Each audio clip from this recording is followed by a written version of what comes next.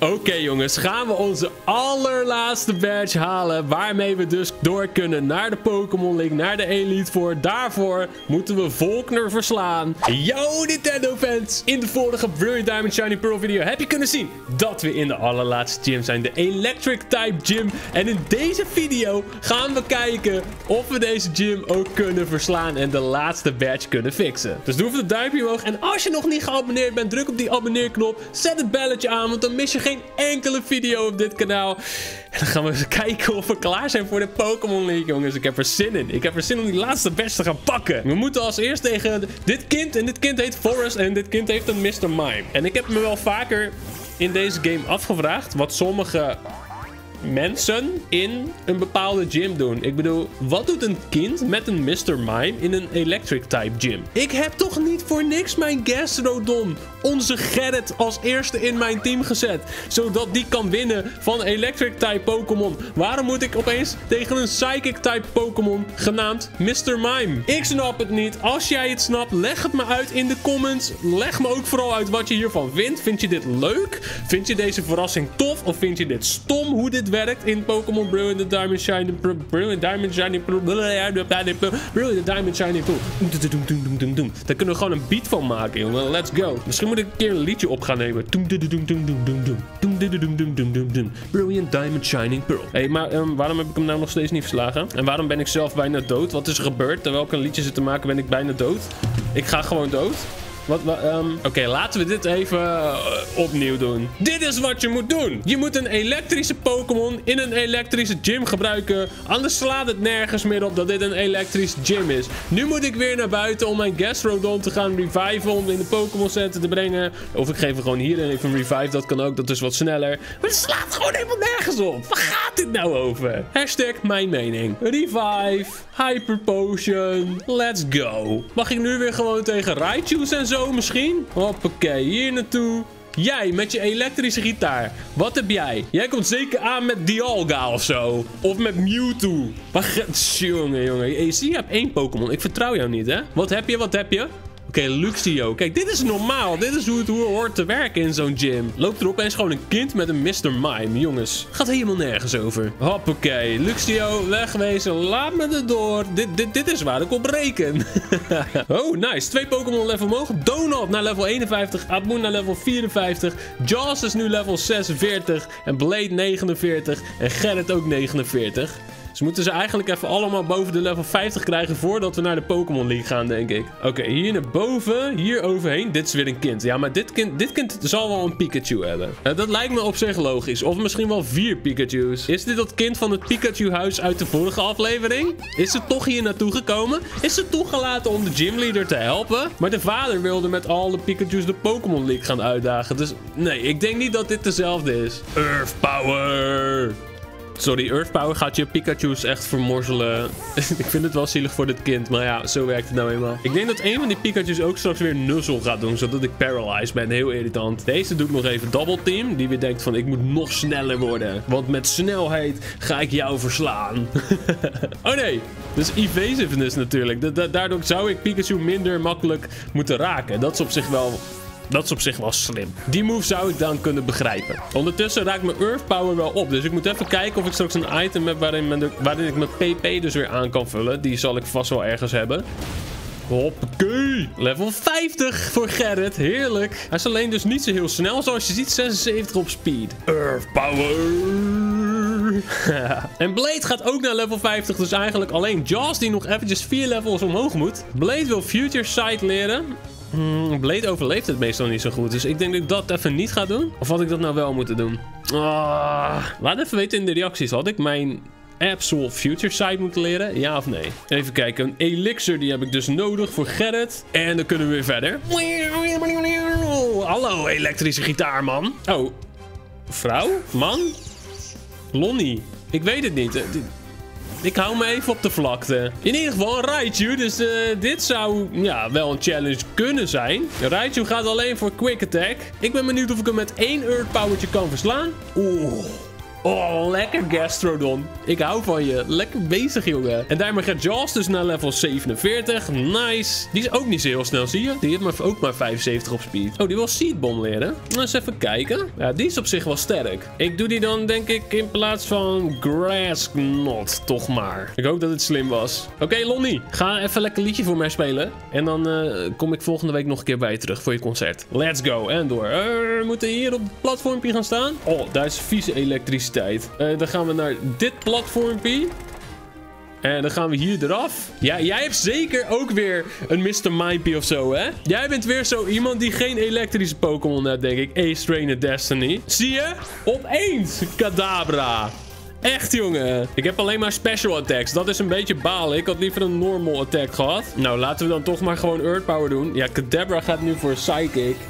Die is sneller dan ik. Ik kan het op zich wel hebben. Oh, maar het is gewoon vervelend, jongen. Ga weg. Met je Psychic Pokémon. Oh, en ook Raichu. Is op zich wel een lekker teampje hoor. Als jij een Gen 1 teampje wil en je krijgt een Alakazam en een Raichu. Dat is, dat is best wel nice. Dat is best wel een goed teampje. Alleen je moet niet tegen Ground-type Pokémon gaan vechten.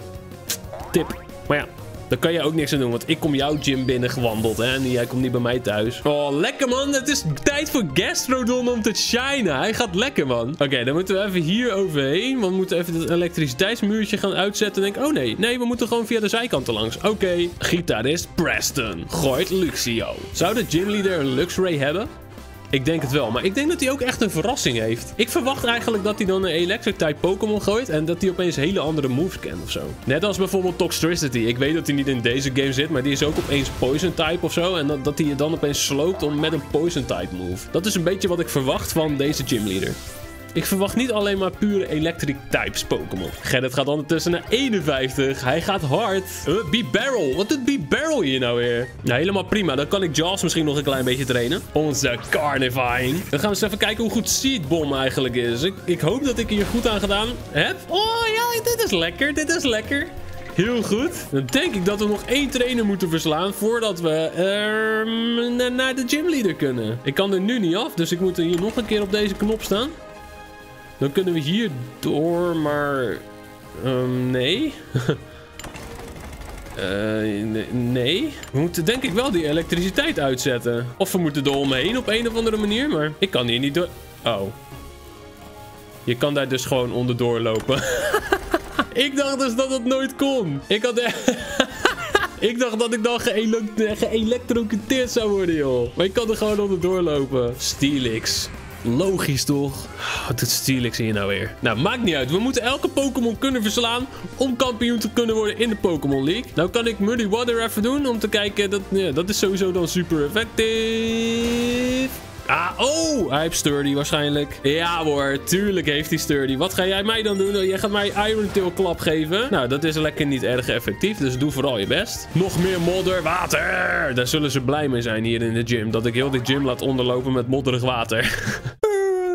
Pearl even kroelen. Hallo Pearl. Ja, dan springen ze tijdens een opname gewoon lekker opeens op je schoot. Super, super schattig. Ik heb Donald er maar even uitgestuurd tegen Medicham. Ik heb niet echt hele goede counters tegen Medicham. Ik weet dat ik vorige keer Absol wilde gebruiken met een Fairy type move. Maar dat ging toen niet helemaal goed. Dus ik dacht, nou, laten we dat dan in ieder geval niet nog een keer gaan doen. Laten we zorgen dat we daarvan hebben geleerd. Dus uh, Donald mocht het even oplossen tegen Medicham. Helemaal goed. En dan gaat Donald naar level 52. En al zijn dingen, al zijn stats zijn nu boven de 100. Dus best wel nice. Even kijken hoor, wat we nou moeten doen. Want we moeten dus nu zorgen dat we naar de gymleader kunnen. Is dat door hier een paar keer aan te draaien? Ik denk het niet eigenlijk. Ik denk dat we die rode ook nog op een bepaalde manier neer moeten zetten. Want hier beneden, hier hebben we natuurlijk nog een rode knop. Die zouden we zo neer kunnen zetten. Want dan kunnen we alsnog hier naar boven. Ja, kijk, nu kunnen we naar de gymleader. Lekker. Oké, jongens. Gaan we onze allerlaatste badge halen. Waarmee we dus door kunnen naar de Pokémon League, naar de Elite Four. Daarvoor moeten we Volkner verslaan die zich verveelt. Dus wij moeten ervoor zorgen dat hij zich niet meer verveelt. Dat dit een battle wordt waardoor hij weer zin krijgt om te battelen. En als hij wint, dan zegt hij dat hij naar de Elite voor gaat om ze uit te dagen. En misschien wel een onderdeel kan worden van de Elite voor. Dus uh, er staat nogal wat op het spelletje. Met wie begin je, Volkner? Jij, jij hebt sowieso een verrassing voor mij in petto. Hij begint met Raichu. Dat is op zich geen verrassing. Raichu moeten we kunnen pakken. Dat hebben we al kunnen zien in alle andere battles. Earth Power zou genoeg moeten zijn voor Raichu. Raichu gaat voor Surf. Ja, ja, ja. Kijk, dit was wel een truckie, inderdaad. Een Electric-type Pokémon die dan een Water-type move kan. Dat is op zich wel nice. Hij gebruikt ook gelijk lekker zijn Berry.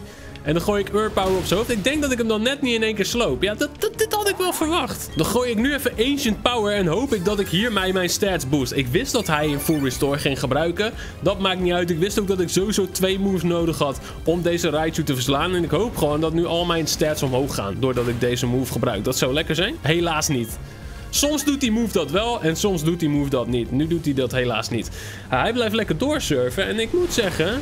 Het doet wel redelijk damage bij mij. Ik ben nu ook al voor de helft kapot, hè. Dat moeten we niet vergeten. Maar nu is zijn Raichu in ieder geval weg. Zijn eerste Pokémon is weg. Lekker. Hoppakee. Ambipom. Dat is een normal type Pokémon. Uh, ja, prima. Dan ga ik Abu wel even inzetten. Ik, ik, had niet verwacht dat ik Abu zou gebruiken tijdens deze gym. Maar oké. Een gymleader die een electric type gymleader is. En dan een normal type Pokémon heeft. Nou, ik ga er niet meer over beginnen, maar ik vind het heel raar. Ik ga gewoon close combat gooien. Hij begint met fake out. Daardoor ben ik flinched. En Ambipon is blijkbaar sneller dan mijn Abu. Hij is ook best wel sterk. Die double hit was zelfs sterk. Beter slopen we hem nu in één keer, man. Hoe kan die Ambipon zo sterk zijn? Nou, hij is in ieder geval wel weg. Oké. Ik, wist niet dat dit een goede Pokémon was. Ik dacht dat dit echt een noob Pokémon was. Maar blijkbaar is die gewoon goed. Maar we hebben hem wel verslagen. Want uh, Infernape is beter. Blade en Infernape gaan beide een leveltje omhoog. Naar 51 en 55. En dan nu... Octillery? Serieus? Ik ben helemaal confused. Helemaal confused. Ik dacht dat Gastrodon alles zou gaan doen in deze battle. Maar ik heb letterlijk iedereen nodig. Want hij heeft van elk type Pokémon een Pokémon. Octillery heeft hij ook gewoon. Ik denk dat we die wel in één keer kunnen slopen. Toch of niet? Level 47 Octillery. Nou, toch niet. Oké. Octillery gaat zijn energie even focussen. Maar je krijgt niet nog een beurt, jongen. Ofwel, want je trainer gebruikt een Hyper Potion. Potverdorie, gaan we het zo doen, Volkner? Wil je het zo spelen? Wil jij dit trucje gaan doen? Het mislukt, jongen. Het mislukt. Je hebt nog maar één Pokémon over nu. Lekker gedaan, Luxray. Ik kan natuurlijk hier ook gewoon Jaws kunnen gebruiken. Zodat hij wat meer XP zou krijgen. Maar ja, vergeten. En dan nu Luxray. Ik hoop dat Gerrit dit nog zelf aan kan. En anders gaan we gewoon Hyper Potions gebruiken, denk ik. Volkner dit is je laatste Pokémon, jongen. Dit is de sterkste kaart, zegt hij. Zijn Luxray van level 49. En dat is natuurlijk wel gewoon een schandalig vette Pokémon. En hij heeft natuurlijk Crunch. En Crunch doet altijd wel damage. En mijn verdediging is ook omlaag. Dus ik denk dat ik, als ik hem niet in één keer sloop, toch echt even... Nou ja, weet je, laat maar zitten. Want we slopen hem wel in één keer. En dit was zijn laatste Pokémon. En hiermee hebben we gewoon alle acht badges en kunnen we naar Victory Road, naar de Elite Four, naar de Pokémon League. Jaws en Gerrit gaan nog een leveltje omhoog. Dat is ook altijd lekker. En daar staat het. You defeated Gym Leader Wagner en uh, hij zegt, je hebt me verslagen. Wat een manier waarop jij en je Pokémon battleden. Ik voelde me helemaal vervuld tijdens onze match. Dit was een hele goede battle. Kijk, en nu heeft hij weer zin in het battelen. En hij zegt, ik weet niet wanneer ik voor het laatst zoveel plezier had tijdens deze battle. Ik ben weer helemaal enthousiast en ik weet dat jouw team nog, nog veel beter gaat worden en nog veel meer kan bereiken. Dit is je achtste gym badge. En je verdient het.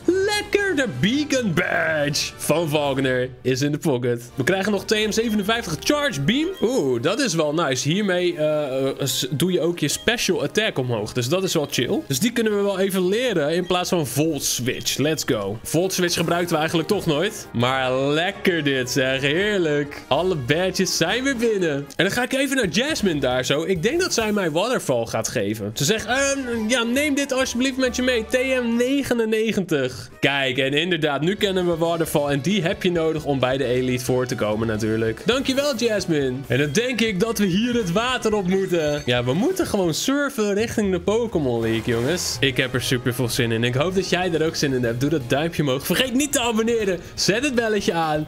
Hele fijne kerstvakantie wens ik jullie. En dan zie ik je gewoon bij de volgende video. Mazzel!